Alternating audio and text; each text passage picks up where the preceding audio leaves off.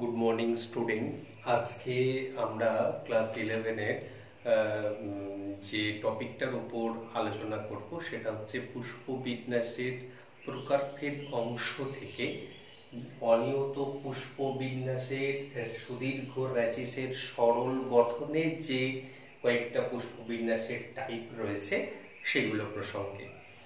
উচ্চ মাধ্যমিকের ক্লাস ইলেভেনের যে সিলেবাস সেখানে মূলত এই সরল গঠন থেকে রেসিম কোরিম স্পাইক, স্প্যাডিক্স, ক্যাটকিন এবং স্পাইকলেট এই কয়েকটা ইনফ্লোরোসেন্স অর্থাৎ পুষ্প বিন্যাসের ধরন সিলেবাসে রয়েছে।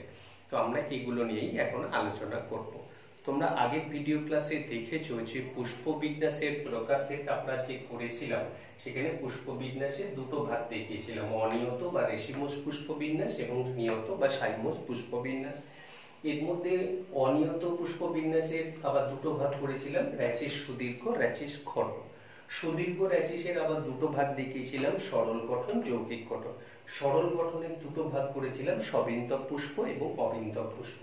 সবিন্তক পুষ্প থেকে রেসিন করে অবিন্তক পুষ্প থেকে আমাদের স্পাইক স্প্যাডিক্স ক্যাটকিন স্পাইকলেট অর্থাৎ মোদ্দা কথা হলো যে অনিয়ত পুষ্পবিন্যাসের আন্ডারে সুদীর্ঘ র্যাচিসের সরল গঠন বা সিম্পল ফর্মে যে ছটা ধরন রয়েছে, আজকে আমরা সেই ছটা ধরন সম্পর্কে আলোচনা করব।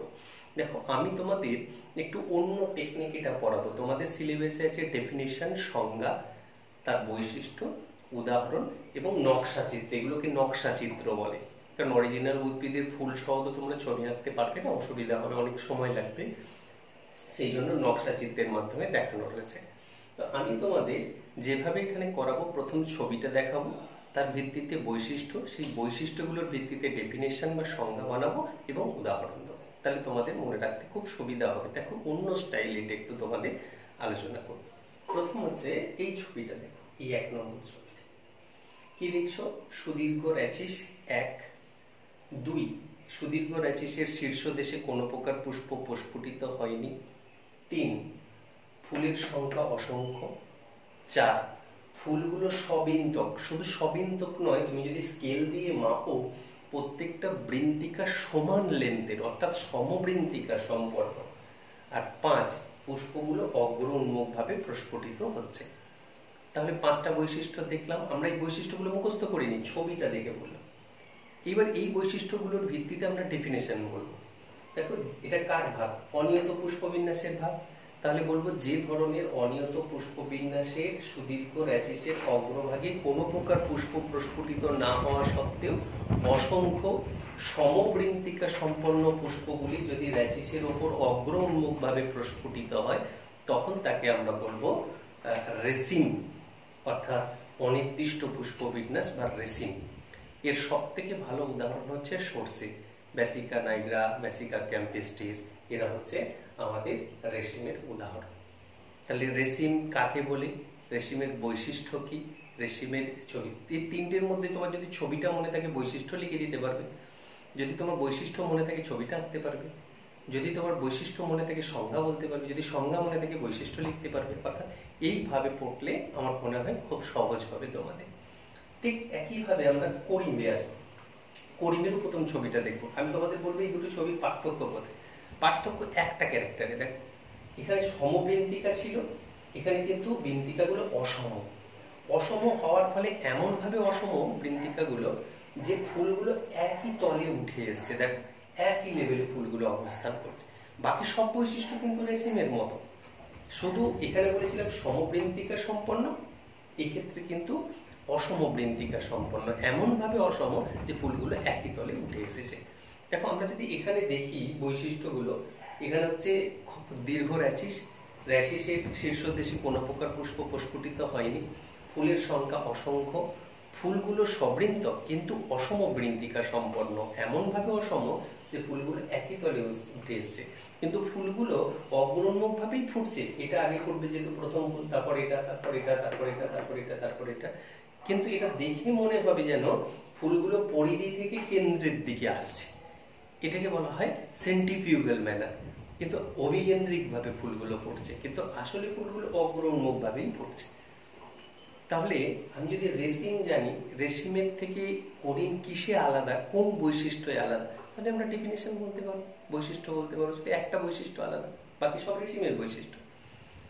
তাহলে এখানে কি হলো? সুদীর্ঘ র্যাচিস শীর্ষ দেশে কোনো প্রকার পুষ্প প্রস্ফুটিত হবে না। ফুলের সংখ্যা অসংখ্য, ফুলগুলো অসম অসমবৃন্তিকা সম্পন্ন, ফুলগুলো একই তলে উঠে এসছে, ফুলগুলো অগ্রমুখভাবে প্রস্ফুটিত এর বেশিসে যদি আমরা ডেফিনেশন বানাই, যে ধরনের অনিয়ত পুষ্প বিন্যাসের ক্ষেত্রে সুদীর্ঘ র্যাচিসের শীর্ষ দেশে কোনো প্রকার পুষ্প প্রস্ফুটিত না হওয়া সত্ত্বেও অসম বৃন্তিকা সম্পন্ন পুষ্পগুলি যদি র্যাচিসের ওপর অগ্রুন্মুখভাবে প্রস্ফুটিত হয় বা অভিকেন্দ্রিকভাবে প্রস্ফুটিত হয় এবং বিন্দিকাগুলো অসম প্রকৃতির হওয়ায় ফুলগুলো যদি একই তলে অবস্থান করে, তখন তাকে আমরা বলব করিম বা সমভূম ধরনের পুষ্প বিন্যাস কালকা, সন্ধ্যা ক্যাশিয়া সোপেরা এর উদাহরণ। এই উদ্ভিদের ক্ষেত্রে আমরা এই করিম জাতীয় পুষ্পবিন্যাস দেখে থাকি।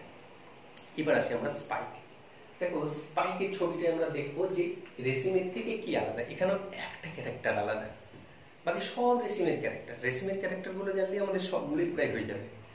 শুধু রেসিম থেকে একটা আলাদা কি বলো ছবি দেখে বুঝতে পারছ? যে এখানে ফুলগুলো সবিন্তক ছিল বৃন্তিকা ছিল, এখানে বৃন্তক নেই। অর্থাৎ এখানে অবিন্তক পুষ্প সেসাইল ফ্লাওয়ার বাকি সমস্ত বৈশিষ্ট্য রেসিমের। দেখো, সুদীর্ঘ র্যাচিস র্যাচিসের শীর্ষ দেশে কোনো প্রকার পুষ্প প্রস্ফুটিত হবে না, ফুলের সংখ্যা অসংখ্য। কিন্তু এই বৈশিষ্ট্যটা আলাদা, যে ফুলগুলো অবৃন্ত ফুলগুলো রেশিমের মতোই অগ্রুন্মুখভাবে প্রস্ফুটিত হচ্ছে। তাহলে আমি যদি রেশিমের ক্যারেক্টারগুলো জানি, আর যদি জানি ফুলগুলো অবৃন্তক, তাহলে আমি স্পাইক বলতে পারব। এবার এই বৈশিষ্ট্যগুলোর ভিত্তিতে আমরা স্পাইকের ডেফিনেশন আসব। যে ধরনের অনিয়ত পুষ্প বিন্যাসের ক্ষেত্রে সুদীর্ঘ র্যাচিসের শীর্ষ দেশে কোনো প্রকার পুষ্প প্রস্ফুটিত না হওয়া সত্ত্বেও অসংখ্য অবিন্দক এই বৈশিষ্ট্যটা।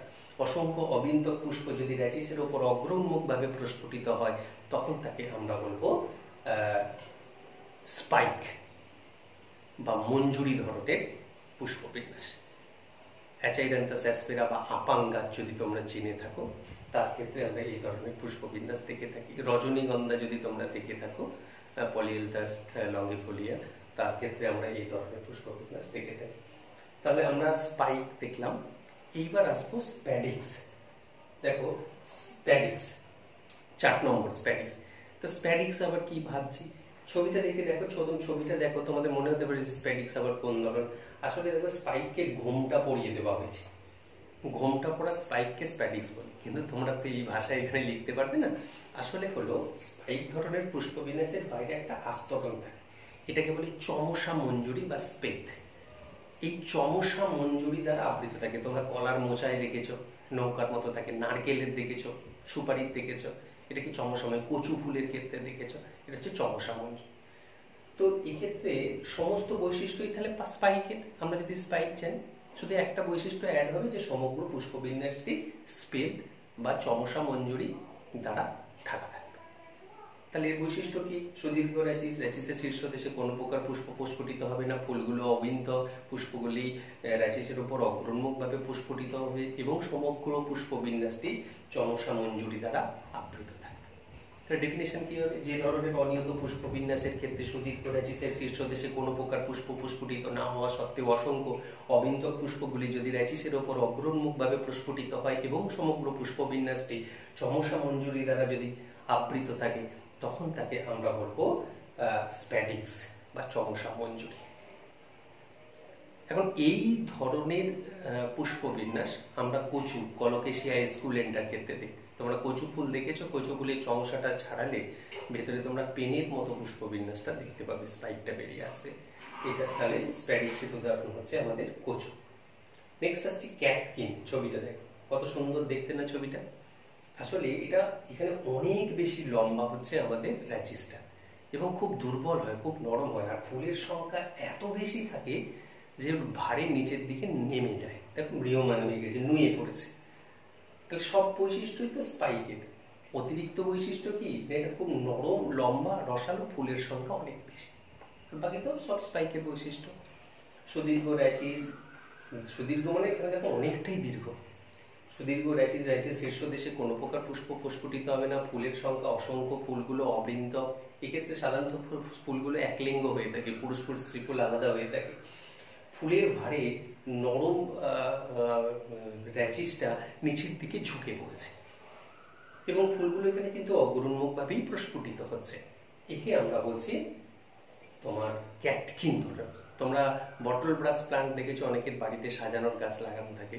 মুক্তঝুরি গাছ দেখেছ, একালাইপা হিসপিডা, একালাইপা ইন্ডিকা, এই সমস্ত উদ্ভিদের ক্ষেত্রে ক্যাটকিন ধরনের পুষ্পবিন্যাস দেখা যায়।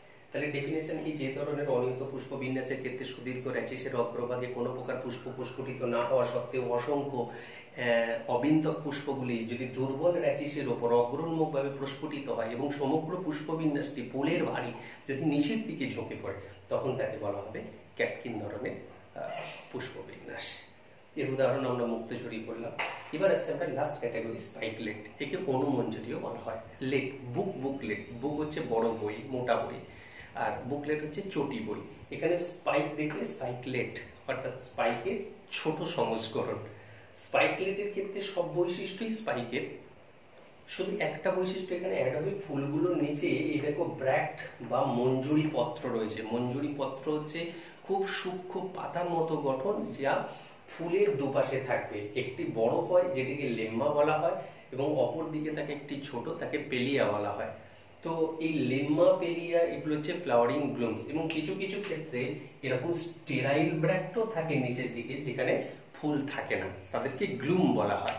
তার মানে মোদ্দা কথা হলো এই ধরনের স্পাইকের ক্ষেত্রে ফুলের নিচে র্যাচিসের ওপর কিছু স্টেরাইল গ্লুম থাকবে, ব্র্যাক্ট থাকবে, আর কিছু ফ্লাওয়ারিং ব্র্যাক্ট থাকবে, অর্থাৎ মঞ্জুরি পত্র থাকবে।